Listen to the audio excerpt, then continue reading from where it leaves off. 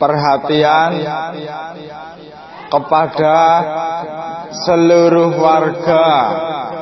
Grup wiswayae ngopi maning ngopi maning ngopi maning. Aja nang baik